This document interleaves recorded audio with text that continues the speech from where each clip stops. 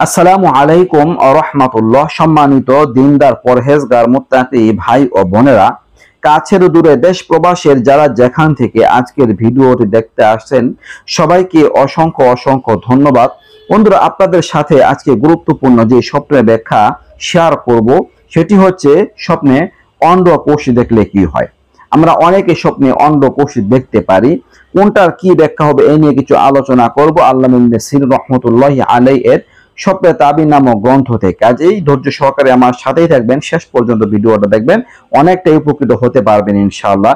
দর্শক, স্বপ্নে যদি দেখেন আপনি খুশি মনে অন্ডকোষ কাউকে দিয়ে দিচ্ছেন, আপনি আপনার অন্ডকোষ খুশি মনে কাউকে দান করছেন বা আপনার থেকে অন্ডকোষ আলাদা হয়ে যাচ্ছে, এরকম স্বপ্নের অর্থ হচ্ছে যে আপনার বা কোনো ব্যক্তি এমন স্বপ্ন দেখলে ওই স্বপ্নদ্রষ্টার অবৈধ সন্তান হবে এবং ওই সন্তান অন্যের দিকে সম্মোদিত হবে। মানে তাকে আর বাবা বলে ডাকবে না, তার সম্বোধনটা অন্যের দিকে চলে যাবে।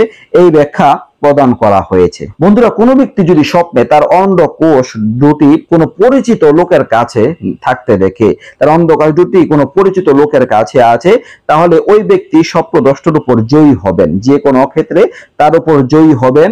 আর যদি লোকটা যুবক হয়, যার হাতে অন্ডকোষ দেখল, ওই লোকটা যদি যুবক হয় তাহলে সে তার শত্রু হবে। স্বপ্নদ্রষ্টার শত্রু হবে। মোট কথা দর্শক, ব্যাখ্যায় বলা হয়েছে যে অন্ডকোষ এটা একটা শত্রুতার মাপ কাঠে বোঝায়। আপনি যদি অন্ডকোষ আপনার কাছে থাকতে দেখেন, আপনার সাথে থাকতে দেখেন, আপনি অন্ডকোষের উপর মালিক, তার মানে আপনি শত্রুর উপর বিজয় লাভ করবেন।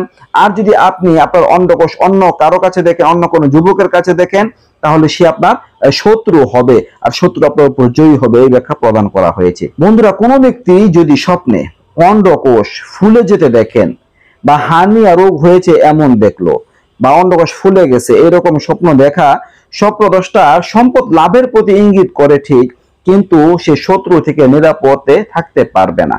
শত্রু দ্বারা ক্ষতির শিকার হতে পারেন। তো কাজেই এমন স্বপ্ন দেখার পরে স্বপ্নদ্রষ্টার উচিত তওবা, ইস্তেগফার করা শত্রু মুক্তির জন্য যে আমল করা দরকার, সে আমলগুলো করে যাওয়া। দর্শক, কোনো ব্যক্তি যদি স্বপ্নে দেখেন, তার অন্ধ কোষকেও ছিনিয়ে নিয়ে যাচ্ছে, কেড়ে নিয়ে যাচ্ছে, তাহলে এর অর্থ হচ্ছে স্বপ্নদ্রষ্টার সন্তান মারা যাবে আর কখনো সন্তানাদি জন্মগ্রহণ করবে না। একটা খারাপ স্বপ্ন। এরকম স্বপ্ন দেখার পরে আল্লাহ তাআলার কাছে মঙ্গল চাওয়া উচিত। আল্লাহ তার কাছে প্রার্থনা করা উচিত। বিপদ আপদ বালা মুসিবত থেকে যেন বাঁচা যায়, সন্তান লাভ যেন হয়, এই আমল তার করে যাওয়া উচিত। বন্ধুরা, কোনো অবিবাহিত মেয়ে, মহিলা যদি স্বপ্নে অন্ডকোষ দেখেন, তাহলে তার বিয়ের লক্ষণ বুঝতে হবে। তার বিয়ের প্রতি ইঙ্গিত করে।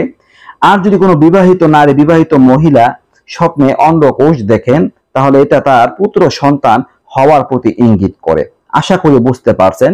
কেমন লাগল ভিডিওটা অবশ্যই কমেন্ট করে লিখে জানাবেন। নিত্য নতুন আরও ভিডিও পেতে পাশে থাকবেন। এই পর্যন্ত আসসালামু আলাইকুম আ রহমাতুল্লাহ।